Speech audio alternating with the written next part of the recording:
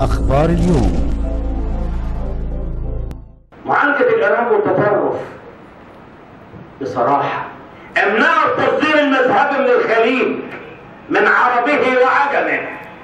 أكرر العبارة من أراد أن يقضي على الإرهاب والتطرف ليس بحمل السلاح لكن بالعلم المعرفة اضبطوا بصة العلم في الإسلام.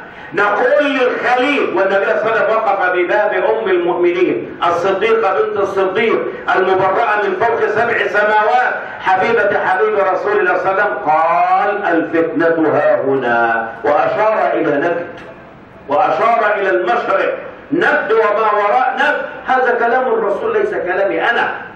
هذا كلام ارجع للصحيحين البخاري ومسلم. وقف النبي في عدة أحاديث. مر بباب السيدة حفصة عليه رضوان الله ومر بباب حجرة السيدة عائشة عليه رضوان الله ومر في المسجد فكان يتجه إلى المشرق ويقول الفتنة ها هنا الفتنة ها هنا وأشار إلى نبد وصرح بهذا صلى الله عليه وسلم قال منها الفتن والسلاسل والمحن. إذا قضاء على الإرهاب والتطرف.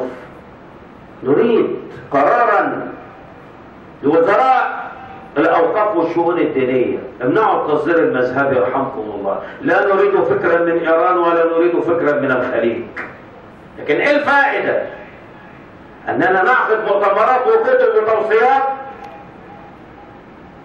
ألا تكفينا عندنا بؤر؟ في محافظة الدقهلية تمد الدواعي بتأصيل فقهي لإراقة الدماء وللسبي والإسترخاء. الكتب عندي.